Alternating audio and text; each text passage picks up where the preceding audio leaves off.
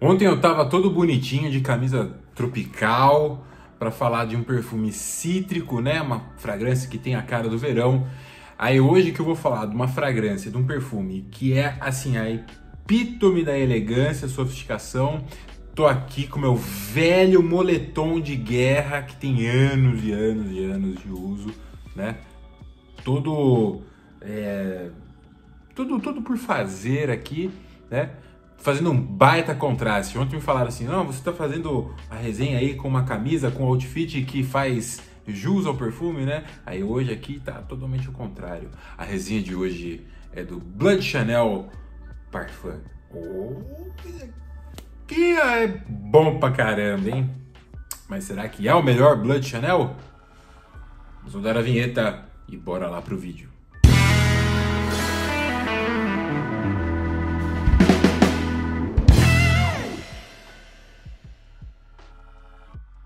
Se você também gosta de fragrâncias importadas, mas o dinheiro tá curto, vocês podem adquirir o decante dos seus perfumes favoritos na SG Importados. Olha só que bonitinho aqui o decante deles, né? Tem várias opções de volumetria, assim você pode não só conhecer as suas fragrâncias mais desejadas, assim também como podem levar elas por aí, né? O frasquinho aqui do decante é muito prático, cabe na bolsa, no bolso, Dependendo, se você tiver uma boca enorme, pode colocar ele dentro da boca também. Mas não recomendo que vocês façam isso.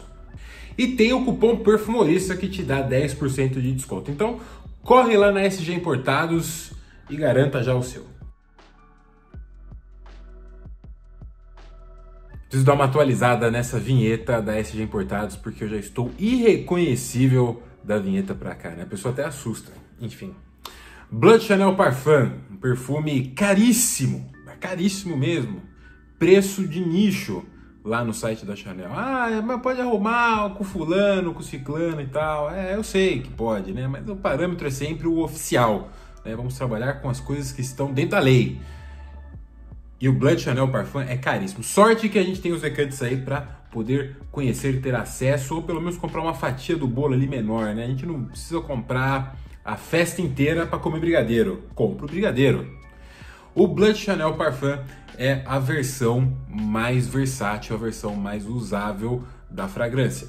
Apesar que assim, lá fora o Blood Chanel tradicional Eau de Toilette e o Blood Chanel Eau de Parfum são considerados perfumes fáceis, versáteis, frescos que você pode utilizar de uma forma bem casual, mas que entrega elegância de forma casual. É como se você tivesse sempre usando uma camisa social ali, nem que seja de manga curta, para sair, para bater perna, para absolutamente qualquer coisa. É mais ou menos essa a sensação que essas outras duas versões do Bleu trazem, né?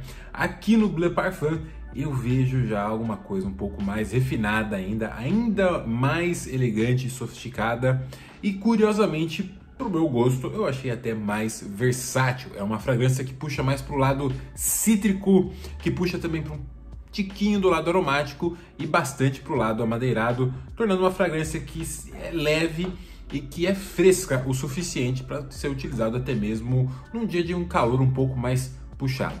Uma das principais diferenças dessa versão para as demais é a ausência do tão famigerado incenso. É, não tem o incenso aqui. Também não tem o gengibre e não tem a toranja. São três características que me fazem ser apaixonados pela versão de toalete e que não estão aqui.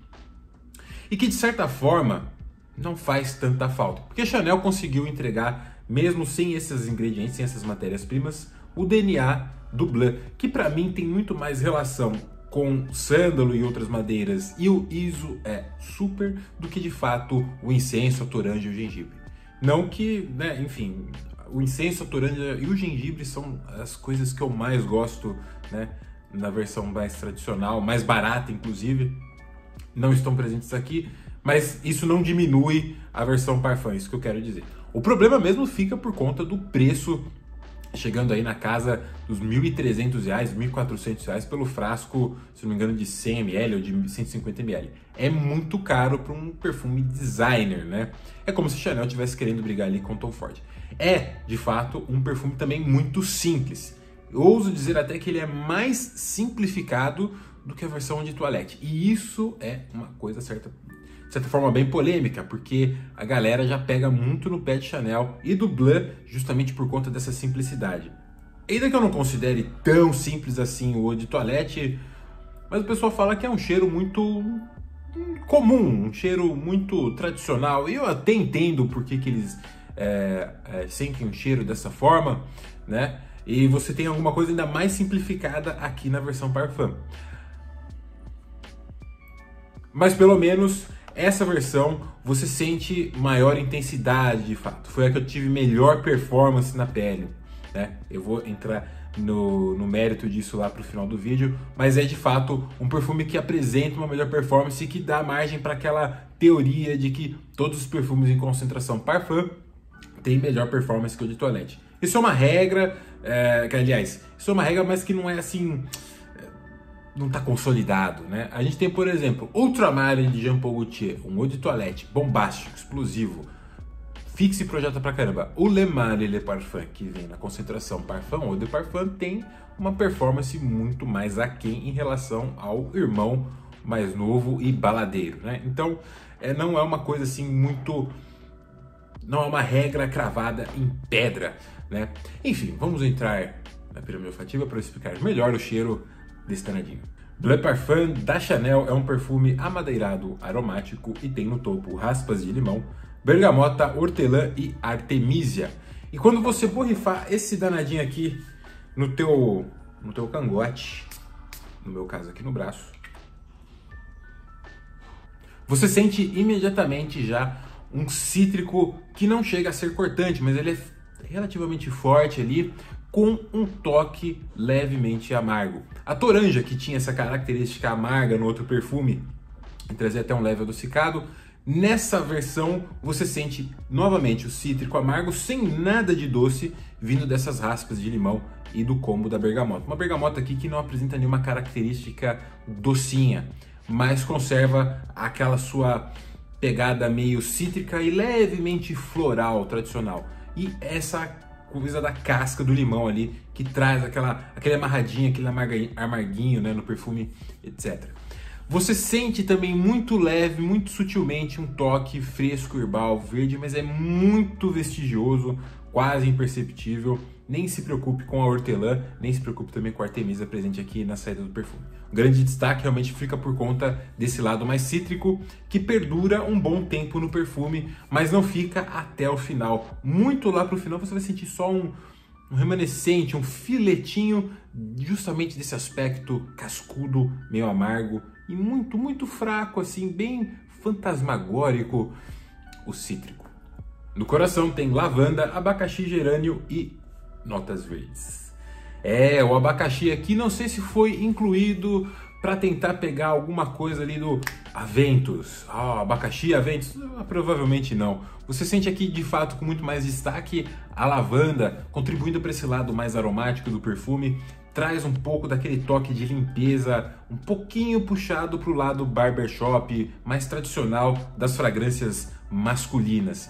O gerânio e as notas verdes aqui, você não tem praticamente nada deles, fica por conta o destaque a lavanda. O abacaxi, eu não sei se eu estou realmente sentindo ele, né? Junto com aquele cítrico da saída vem uma coisinha meio marrenta, que eu faço uma associação com a polpa do abacaxi ali e tal, mas não é uma coisa lá muito clara, não dá para você cravar que é de fato o abacaxi. Se você sente, se você tem o Bleu Parfum você sente aí bem o abacaxi, se você sente ele com bastante clareza, deixa aí nos comentários. Eu particularmente não senti nada nem na pele, nem na secagem, nem na fruta olfativa, alguma coisa que você consegue identificar imediatamente e falar, é abacaxi.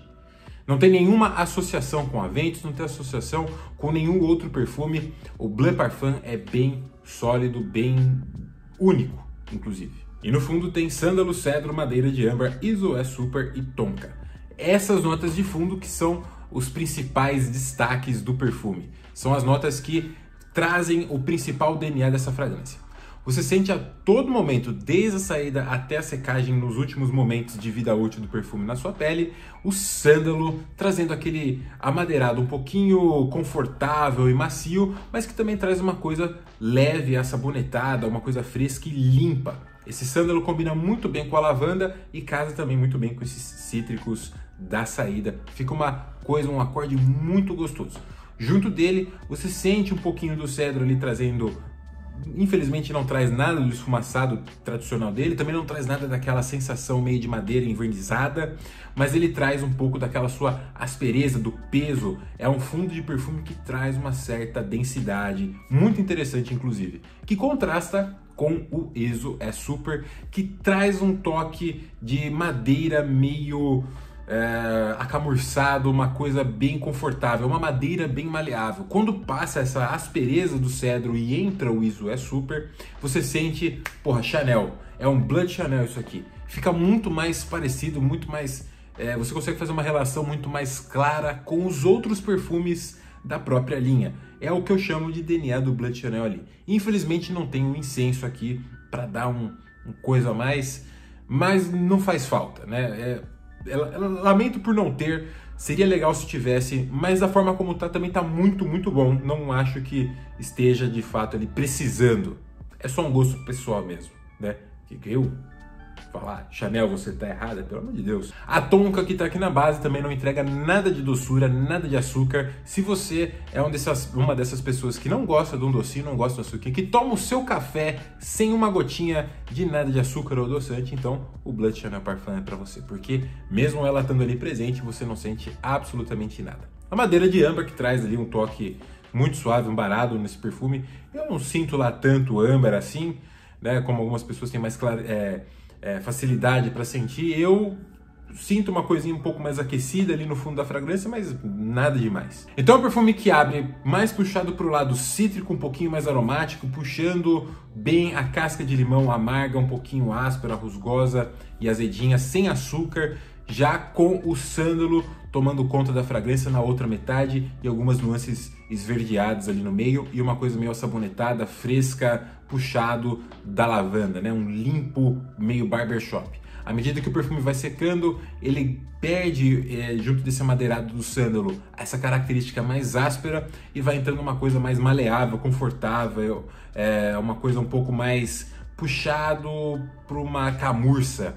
E o perfume vai secando dessa forma, com a parte cítrica cada vez ficando mais atenuada, deixando só um vestígio né, é, puxado para esse lado cascudo, meio cítrico é, das raspas de limão e da bergamota. E aí quando a fragrância fica praticamente madeira de sândalo com isoé super e uma pitadinha cítrica, ele para de evoluir e fica assim até o final. No doçômetro é zero, não tem nada doce nesse perfume, não se preocupem. Vocês que não gostam, do, que não são formiguinhas, fiquem tranquilos porque aqui não tem nada doce. Em termos de performance, eu tive uma projeção moderada para moderada intensa, uma, uma, projeção muito interessante, inclusive, pelo menos duas horas o perfume ficou perceptível na minha pele, deixando com uma boa aura perfumada, eu conseguia sentir ele com facilidade, exalando, projetando por mim. A fixação fica ali em termos de algo de 7 a 8 horas, não é claro uma projeção, aliás, uma fixação extraordinária, nem é uma projeção muito, muito grande. Tem, tem outras fragrâncias ali é, mais ou menos dessa mesma, dessa mesma faixa de valor, que fixam 12 horas para mais e projetam muito intensamente. O Bleu Parfum tem uma projeção, uma fixação legal comparado aos, aos perfumes da própria linha. É uma projeção e fixação é, relativamente maiores, né? Mas ainda assim não é nada de extraordinário. Não vá achando que é uma bomba, porque não é. Mas você consegue sentir ele com muito mais facilidade do que os outros. Ele vai ficar intimista ali na sua pele depois de umas 4 horas que você aplicou o perfume. Em termos de usabilidade, eu considero uma fragrância para você utilizar como uma assinatura se você tem bala na agulha, claro, porque é uma nota preta cada frasco.